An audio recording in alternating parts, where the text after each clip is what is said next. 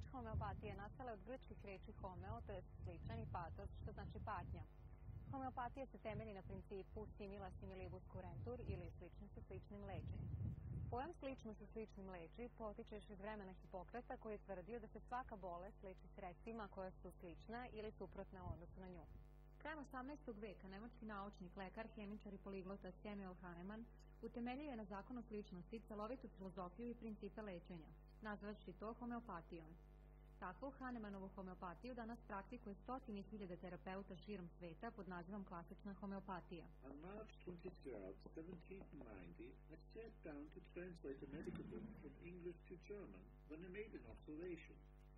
The symptoms for malaria, fever, headache, nausea, vomiting, are the same as the poisoning symptoms of quinine, which is used to treat malaria. Interesting. Hmm. What would happen if I drink quinine? I don't feel so good.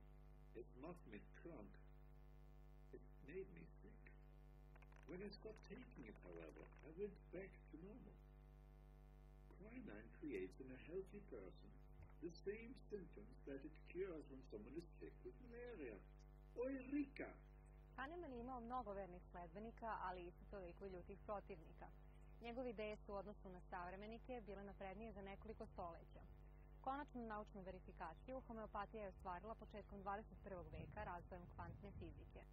Hahnemann je shvatio da u svakom organizmu postoji energija koja animira telo, održava funkciju, ponaša se kao njegov regulator, pokušavajući da održi harmoniju tela. Ona se ne može izmeriti, ali se posmatranje može proceniti kolika je životna sila neke osobe. Je vitalnost jednog organizma ili urođena prirodna sposobnost da održi zdravlje ili da se samo izleči. Hahnemann je tu energiju nazvao vitalna sila. Početkom prošlog stoleća Rockefellerovi su se lečili homeopatski i želeli su da svoj novac ulože u razvoj homeopatije. Međutim, njihov finansijski savjetnik im je preporučio da ulože taj novac u razvoj farmaceutske industrije. Ovim je verovatno odredio brojne istorijske tokove.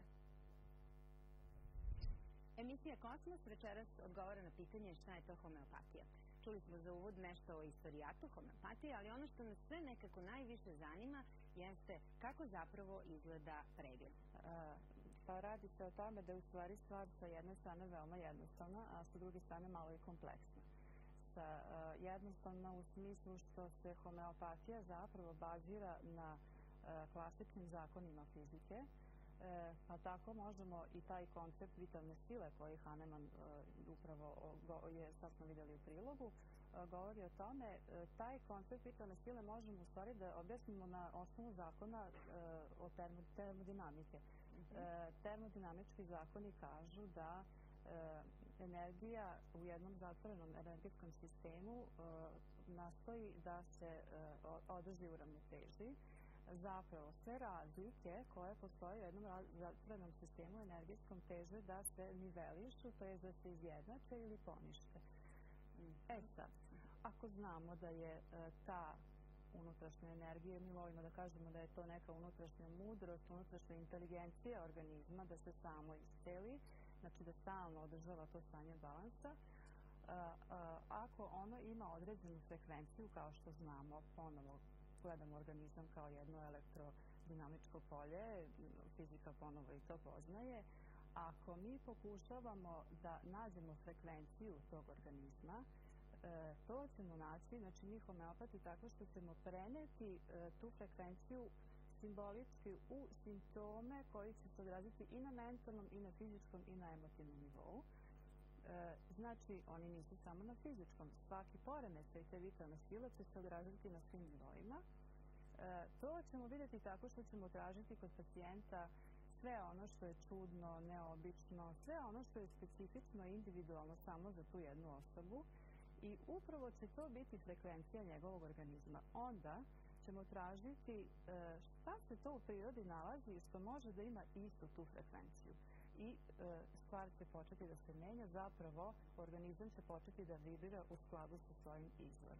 E sad naravno to je jako kompleksna stvar, to je ono kompleksno zato što homeopata bi trebalo da nauči da prepozna svaki od tih simptoma na svim tim nivoima i da ih pretoči u simboliku nekih od e, minerala, biljaka ili životinja koji su jako dobro poznati, postoji materija medika koja se izučava četiri godine na studijama da bi se znači poklopilo to nešto i da bi se došlo do izlečenja. Ima tu dosta toga što zvuči vrlo komplikovano, ali kada dođemo do te priče o frekvencijama, o rezonanciji, čini mi se da tu već nešto postaje jasnije.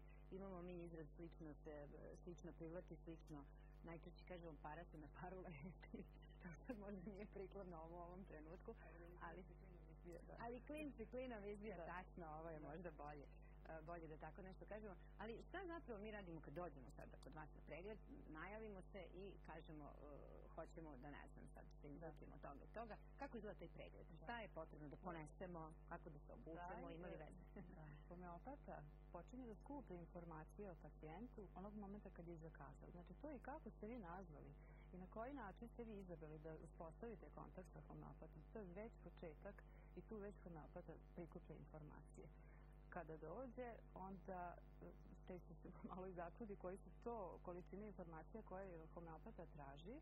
Pored fizičkih simptoma, koji su važni da ih sagledamo, mi tražimo sve što možemo da vidimo specifično, znači i na emotivnom, i na fizičkom, i na mentalnom nivou, pa tako pitamo i za to i kako pacijent spava, i šta sanja, volimo da čujemo sve detalje u vezi sa snovima, to nam je Ako neko ne pamti snove? ako neko ne pamti snove, nađemo taj isti neki izraz u nekom drugom aspektu njegovog života. Prosto samo treba, svaki homeopata nauči tu veštinu na koja vrata da zakuca i kako da dođe do unutrašnjosti do pacijenta. Homeopata e, traži sve najčudnije, nešto što nekada možda nikada niste ni pomislili ikome da kažete, pa ni samome sebi, e to je jako važno. I što čudnije zvuči, homeopat je to sve zanimljivije da bi se došlo do one specifične frekvencije i specifičnosti individualnosti nečeg organizma i nečijeg bića i nečijeg postojanja. Da. Koliko vi količinu, koliko traje taj pregled i koliko količinu takvih informacija